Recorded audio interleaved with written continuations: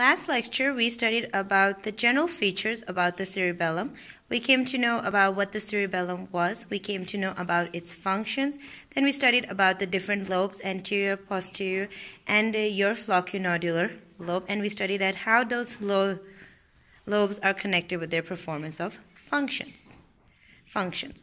Now we're going to go into a bit detail about it because we are not about high school students. We're going to be going into medical schools. So you should have a more knowledge about what cerebellum is basically concerned deeply. So before going into the depths of the cerebellum, let's see about that uh, we came to know in our pre uh, previous lecture that on posterior view you had the central cavity and which contains whole matrix of the cerebral cortex which is the highest center in brain which will send impulses. So that cerebral cortex which is containing the whole material in your cerebellum that is called as your vermis and these lateral areas these one they are called as your lateral hemisphere or the cerebral hemispheres. And in between the lateral or the cerebellar hemisphere and the vermal area or the vermis area is called as the paravermal area or your intermediate zone.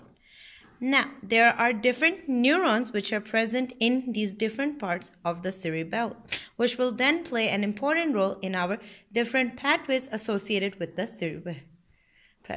Before going into them, uh, let's go into the names first and before coming into the name how you will know uh, like uh, your mnemonics or the keywords to memorize the name that is that don't eat greasy food d for your dentate nucleus e and g for your uh, emboliform nucleus and your globose nucleus and f for your fastigial nucleus so in order to memorize these names of the different parts of the nucleus the key is that don't eat greasy food that is the word I use, the keyword which helped me in order to memorize the names of the nucleus.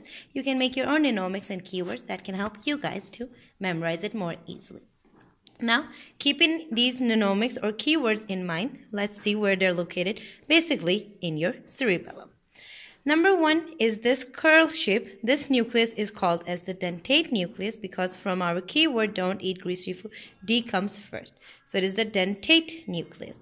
And where this dentate nucleus is located, you can see it is located at the lateral end of the cerebellum in the lateral hemisphere or cerebellar hemisphere. That is where this dentate nucleus is located. The second nucleuses we studied from our keyword is that eat and greasy, means the nucleuses are going to start from the word E and the word G. The nucleus starting with the E word as E comes before G, so it is before here. It is the emboliform nucleus. And here, this is called the globose nucleus.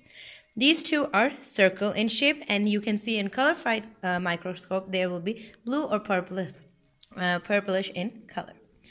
Where they're located, now you can see that these small lobes, wait, these one, these are called as your globose nucleus. And these one which are present in front of it those are called as the emboliform nucleus. So these emboliform nucleus along with the globose nucleus they form together called as what is known as the interpose nucleus. Now where they're located. Emboliform nucleus you can see that they're present partially near to this vermis and also in the lateral or cerebral hemisphere so that area which is present close to the vermal and also in the lateral hemisphere, that is called as the paravermal area.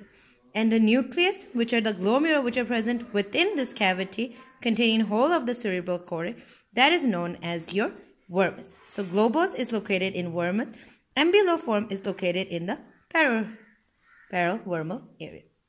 Now we have the last nucleus, that is the fastigial nucleus because F comes in the end, food. Fastigial nucleus is oval shaped. These ovals are present. I've shown it with the green color marker. And where they're located, they're located in this area which of the cerebellum, which is called as the flocculonodular lobe. But according to our recent researches that is going on on the neurology field, some neurologists and neuroscientists have found that this fastigial nucleus is not only located in the flocculonodular